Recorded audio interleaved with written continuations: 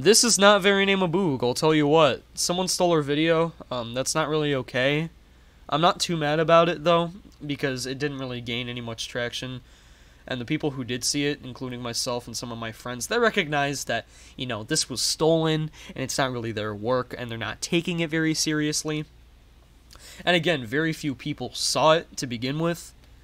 So I'm not that mad about it, but I also don't want it to exist because at some point it might take off and I don't want that.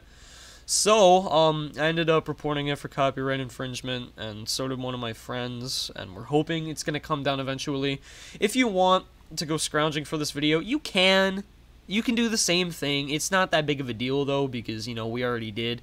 And, and again, I'm not that pissed. It's just that I am pissed, just to a much, you know, lower degree than one would expect.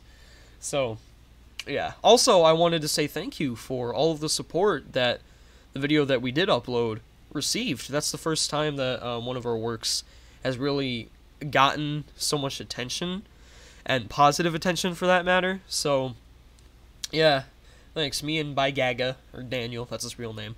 We put a lot of effort into it. So, uh, yeah, thanks. I, I don't really know what else to say. Uh, have a good night, I guess. Get a good night's sleep. It's it's Thanksgiving break for me, so you know, I, I don't really give a shit about getting a good night's sleep at this point, but, you know, don't learn from me. I'm, I'm, I'm not a very inspirational person. Bye.